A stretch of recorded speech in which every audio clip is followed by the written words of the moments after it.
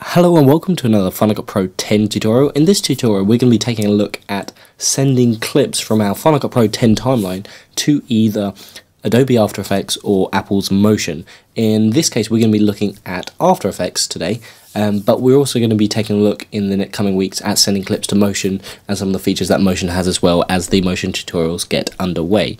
So let's take a look at this sequence, um, which is uh, Silent Studios project um, make sure you check out some of their work. There's a link in the description. This is basically a teaser trailer for their upcoming series called Zombie Playground, which is this idea that you've got a large number of juvenile zombies, um, and it's sort of uh, scenes and episodes centered around that concept.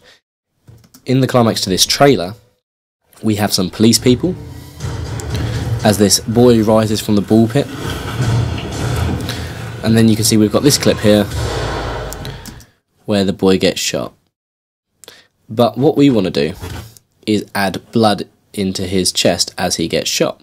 So how would we go about doing that? Obviously, Final Cut is not a compositing program. It doesn't have the tools within it to create an effective, uh, realistic blood effect. Now, I'm not actually going to go into how to create the blood effect. There are loads of tutorials. Uh, just search on YouTube, uh, blood Burst, um, or check out Video Copilot's website for some great tutorials on, on effects like that in, in Adobe After Effects.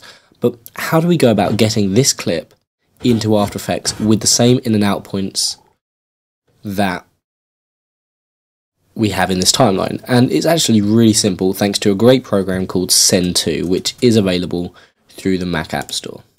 Just search Send-To on the Mac App Store and you'll be able to get that basically what we need to do is first of all export the XML. So if we go back to our project menu and we have our zombie playground teaser 2 selected, which is file, export XML.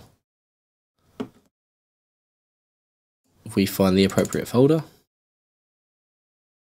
we're going to call it version 2 because I previously exported the XML.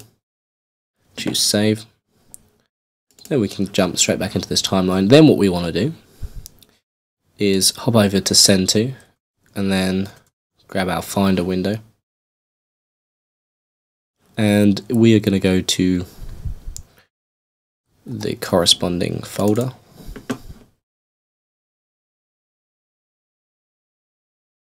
The XML. We're going to choose version 2 and then we can literally just drag it into here and this is where we want to find the clip. You can see that the clip was called body hit V1R05. Now what I would actually recommend doing in the future is selecting your clip in the timeline and then going over to the inspector tab, click on info and then you can rename the clip something obviously like VFX uh, blood hit pre-effect and then it's all in capitals and it will be really easy to spot. Um, so make sure you do that when you have a go at doing this. You can see there it is, version R05, which is this one here, and press send. And you can see that it has opened up our clip. With the appropriate in and out points, you can see the duration is right. You can see the, if we click on the composition settings, you can see that it's um, the same settings as we uh, as the clip we sent to here. Um, it doesn't. It, it, takes the set the settings of the clip, not of the uh, sequence that you're working in. You can see also that it does actually create a brand new project, and then from here we can work on our project, and then we can add our composition to the render queue, export it out, and then import it back into Final Cut as a brand new clip. And then you can obviously drag it into your timeline.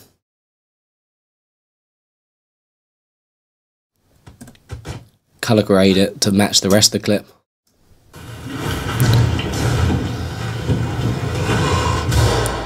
There you go. Now you can see that we've got a blood bursting out of his chest. If you have done the visual effect, that is. Um, so just a quick tip, hopefully this was useful, and like I said, we're going to be taking a look at doing the same sort of thing in motion, and we can even cover how to create the effect in motion if you guys like. Just make sure you comment in the description if that's what you guys want.